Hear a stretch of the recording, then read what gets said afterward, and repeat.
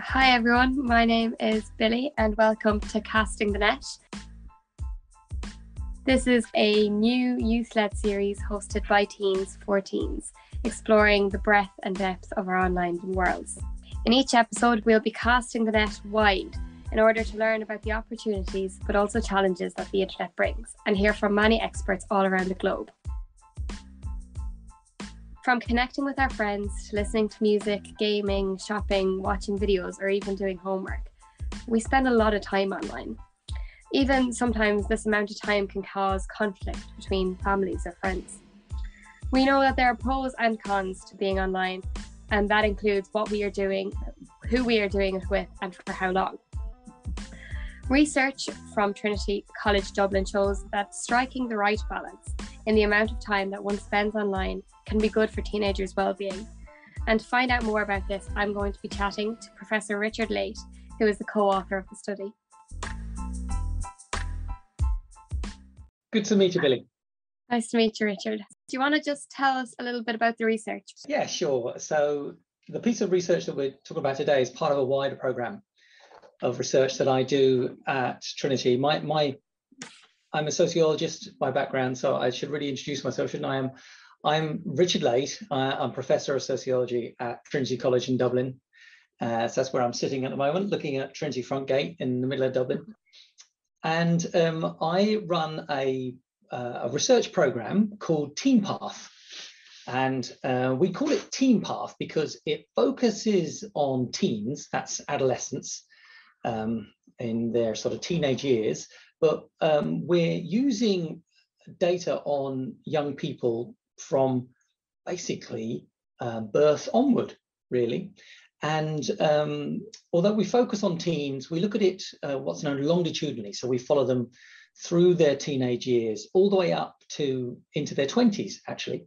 And if you've come across these data that we used before, it, it's called Growing Up in Ireland. If you go to www.growingup.ie, it gives you all of the information, all the lowdown on growing up in Ireland. It's a it's a study funded by governments, cost the Irish government 41 million euros to date to collect all this data.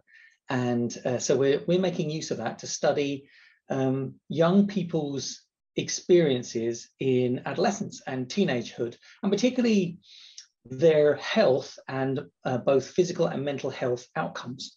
So that's that's where my interest in this area comes from. I'm looking at um, young people's mental health outcomes. Uh, and the reason I'm doing health, even though I'm a sociologist, is because your social environment can contribute really very significantly to your mental and physical health. Uh, so, who you're in contact with, the kind of relationships you have with them, um, that social environment that you have is really influential on your health outcomes. So, this piece of research that we're talking about today, which is about uh, we sometimes call it digital engagement, but let's call it sort of screen time, online participation, online engagement. Um, this is part of that wider program of research looking at different adolescent and youth behaviors. How much time we spend online, like what kind of impact does it actually have on our well-being as teenagers? The simple answer to that is we're not entirely sure. Okay, so um, we have we were asking questions of young people from age nine. In fact, we asked them before that, from uh, about age five, actually. Um, we're asking young people about their time online and their activities online. So that's one source of, of information. That's kind of self-report. And then we have another source of information, which is we get them to carry out time diaries. So they, they keep a diary and then every 15 minutes they note down what they're doing and who they're with. And from those different sources, it looks like um, quite a people are spending quite a lot of time online. So um, amongst young women, it's about two fifths of them, so that's about 40%, are spending three or more hours a day during the week online, and that's that's rising to over 50% at the weekend. Uh, amongst boys, it's a bit less. Uh, amongst young men and boys, it's about a third are spending three hours more. But that's really just an estimate, okay? And what, what we know is that it's actually hard to differentiate when you're online, when you're not online, in a sense, isn't it? Because quite often I, have you know I have three kids myself. Um, my my youngest is 15 at this stage, and um, I she carries her phone around everywhere. It's in her hand the whole time. So essentially, she's almost online the whole time because there's notifications going off, and she's looking at her phone. Uh, it's not like it used to be when the internet was tethered to a desk on a computer, and you had to go to the computer and log on. Um, those are the old days. You know, we don't do that now. The the invention of the smartphone since what 2006 7 when the when the iphone came out that's been a revolution that's kind of that has made the internet truly mobile. It's in our hands all the time. So our estimates of the amount of time that people spend online are simply that they're estimates. They're they're not in any sense a cast iron number. Nonetheless i have to say this okay? All data are in in many respects an estimate largely. Yeah. Um, so what we can do though is we look, we look for patterns and we look for variation in the population. So everybody might be wrong about the amount of time they tell us they're online. But nonetheless, um, we can look at the patterns within the population to tell us about the consequences of more time online compared to less. So the absolute numbers seem to be quite high, but they could be higher. Yeah. Does that answer your question? Does indeed. Thank you. Um, and then the research also showed that not spending enough time online can have a negative effect. So, where does that link in, and what kind of risks are we really looking at? Yeah. Okay. So there, there are kind of there's a history to this. right? So you would think, wouldn't you, that the internet would be a really good thing. So the having the internet in your hand, you'd think would mean that nobody would ever be lonely because you'd be able to contact anybody anytime, wouldn't you? Be able to go online. You'd be able to ring them if you wanted to, but you could also do email. You could do your, you know, our, our sort of um, video calls these days, email. There's instant messaging. There's any number of different ways you could contact people. So you'd think that this would be a fantastic thing. No, you know, loneliness no more. Um, similarly, nobody would ever get bored, would they? Because you'd have this thing in your hand where you could go off and get all the information you ever wanted about the world really via your smartphone. So it does look like a really good thing. And you would think that having access to it would improve people's well being. Uh, it would make them happy, you'd think, and it would make their mental well being better. Um, but over time, uh, after 2010 largely, there began to be the emergence of some data in, on, uh, out into the public sphere suggesting that all might not be well and that actually we might this might be contributing to bad uh, outcomes for young people. Um, so there's there was in, there's increasing evidence that um, levels of mental health are worsening amongst young people. So if you look at rates of anxiety depression like symptoms psychological distress um, across countries not uniformly, but across countries across the world, we're seeing increases in those amongst young people, particularly young women, and particularly amongst young teenage women. So between about 12, 17, 18, we're seeing really steep increases in these kinds of symptoms, anxiety, depression. And these increases are starting from about 20, 2009, 2010, which is a period which, as we've already discussed, is kind of synonymous with the rise of mobile smartphones and the access to the internet. So people have jumped to the conclusion that the, these two things are, are, strongly related. You know, that the worsening mental health is all to do with increasing rates of online time amongst young people. Um, and there's been some, some people commenting on this. People like Jean Twenge in the US, a US psychologist, she used to look at generational changes. And now she looks at really spending a lot of time looking at the effect of the internet and web on young people. And she was publishing articles about how smartphones had destroyed a generation, you know, apocalyptic stuff about the mm-hmm. effect of the internet on young people, real worrying stuff. You know, if Jean is right, then this is something that we need to do something about because this looks like it's having a terrible effect. Now, of course, the world is often more complex than that. Okay, just because mental health is worsening, and we do seem to have very good evidence that mental health is worsening amongst young people, just because that was that worsening is synonymous with when smartphones arrived doesn't necessarily mean that smartphones caused it you know uh, as any statistician will tell you correlation does not equal causation okay so just because mental health got worse when smartphones come out doesn't mean that smartphones did the made the problem there are a lot of other things which are happening. You know, as as you might realize, um, there's a lot of young people out there who are homeless or finding it very difficult to find housing. You know, and there are other families that there, are you know, even young people living with their families are finding it difficulty. Um, there's lots of difficulties around the in our societies around poverty and around sort of other stresses that might be on young people. There was that small thing called the pandemic, COVID pandemic, which also impacted on people as well. So, you know, we can't necessarily draw a straight line from, from smartphones over to uh, to mental well health, uh, mental ill health. So um, we have been, and a number of a lot of other people have been trying to sort out what did it actually have any effect, and can we identify what that effect is? And there's increasing evidence that there is indeed an effect that it that smartphones and time online particularly and the kinds of activities you're doing online do seem to have a, a, an impact on on people's well-being now to answer your question i know i've been talking for a long margaret to answer your question can it also be a beneficial thing people didn't really look at that so much and that was part of our research was to see can there be what are there some positive effects for being online okay because if you think about it, being online is and communicating via the internet and the web, they're just another source of communication, aren't they? It's like a telephone. It's it's like any other way of contacting people, and we know talking to people generally is beneficial for our well-being. You know, we're social animals, human beings, aren't we? We like to be with other people by and large, um, and so it might be that there's some positives to this. And indeed, when we looked what we found is that when people were spending no time online or very little amounts of time online, that actually was associated with worse mental health in terms of uh, certain symptoms of depression, internalizing kinds of conditions, and particularly externalizing conditions. So these are people who, you know, experiencing hyperactivity, inattention, this kind of stuff.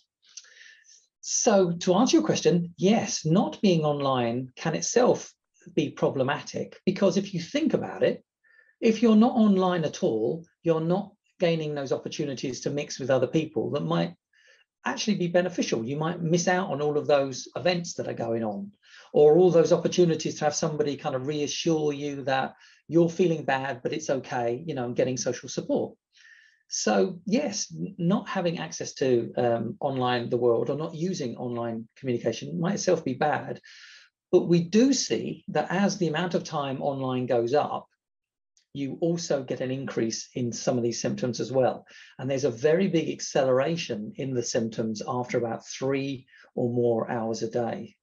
I suppose it's all about finding the right balance between online and offline, isn't it? Like if Yeah, that can be part of it. Because of course, one of the questions here is if there is a, a downside to being online, it might not just be about the length of time you're online. It might be about what you're doing online as well mightn't it? Is there a difference between if you're doing educational stuff or just like casually scrolling for hours on end?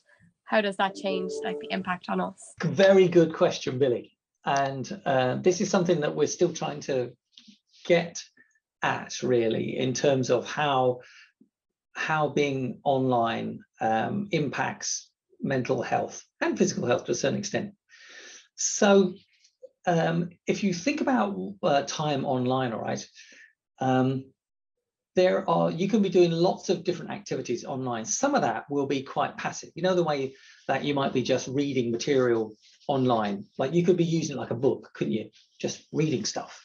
Websites uh, are like that. Um, but you can, of course, also be um, looking at other people's responses and on and time online. And what, what we found is um, that the reason for, for why you're going online is quite important in terms of the, uh, the, the kinds of outcomes that it has for you. Think of it like this, all right? Say I'm having I'm having problems with my friends and my you know the people uh, that I'm around. I'm not getting on with them so well, or maybe they're not talking to me, or maybe there's even something like bullying going on. Okay, if I go online and I, I'm simply browsing through online materials, um, looking for connection, but not actually having any kind of uh, dynamic interaction with people, uh, you know, as in like a discussion, then that seems to be associated with worse outcomes. So um, if if you get young people that are feeling more alienated from their peers, um, that that tends to be a sign that what they're going online for is to try to make contact, um, but they're not really managing it. And in that situation, that can that can lead to this kind of slightly ex- excessive use, obsessive might be a better word for it, um, where you're constantly comparing yourself to other people and you're trying to work out what they're thinking about you, what are they saying about me, what are they saying to each other, trying to get into their minds, trying to work out who's talking to who and what they're talking about. So that can be quite negative. Um, on the other hand, if you're going online a lot and you are talking to your friends and you're having chat, you know, and you're having banter online, that is actually quite a positive thing. And what you're getting there is often quite high quality kind of social interaction that has real benefits for us. The, the, the jury's out, and we don't have very good evidence about whether meeting people face to face is more beneficial than being online. Um, that, that we're still sort of trying to work out the answer to that one. Um, but what we do know is that if you're having face to face interaction online or you know social interaction online, then that can be really beneficial. And so, what why you go online and the kind of things you're doing do make a big difference. There's also a sort of a generalized theory here uh, which we call displacement. Okay, so displacement is the idea that when you go online and you spend a lot of time online, what you're doing is you're displacing other forms of behavior that might be more beneficial. So one, say face-to-face contact is better, better for you than in uh, online interaction. Then if I'm constantly online rather than seeing people face-to-face, then I'm, there might be a displacement effect of on of face-to-face contact that makes me feel worse, mightn't it? Like I say, evidence is out on that one. We're still counting. Um, but you also find displacement effects in other ways. So um, a lot of young people have their phones with them all the time, and they're looking at their phones before they go to bed. And that means that the phone itself or the, the online content can kind of slow down uh, transition to sleep. You know, so you might have sleep problems, or it just might stop you sleeping because you're up all night looking at the internet.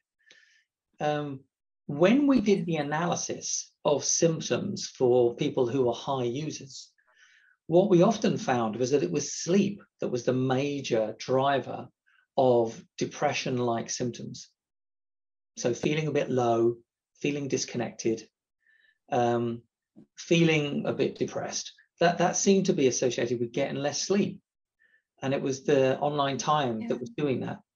So that's that's a generalized displacement effect. But of course, being online can also have other effects. Do you, do you remember I just mentioned earlier on about where you're browsing through stuff?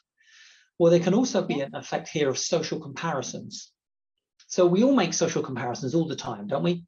You know, like you, you know, you see your friends and they've got a new pair of trousers, and you think, "Oh, that's a lovely pair of trousers. I'd love to have a pair of trousers like that. They must be so much, you know, better off than me, and they're so much happier than me because they've got these trousers." But it seems that a lot of these social comparisons are much more difficult if they're done online because they're contextless, you know, that way. And what you often find as well is that uh, people online are curating the word is uh, a lifestyle for you. You know, that they're trying to represent their best selves. And so they're very smiley and they've got lots of friends about them and they're wearing their nicest clothes and they're, you know, they're they're doing lots of really entertaining stuff. And that those social comparisons can have quite a big impact on self-esteem, particularly for those people, as I was saying earlier on, who are looking for connection, who, who are feeling lonely and, and want connection. Sorry, that was a very long-winded answer. You're all right. That was it was brilliant. It makes total sense. Join us in part two, where we continue our chat, including discussing if there is a magic number for the right amount of time to spend online and what needs to be done to build on this research.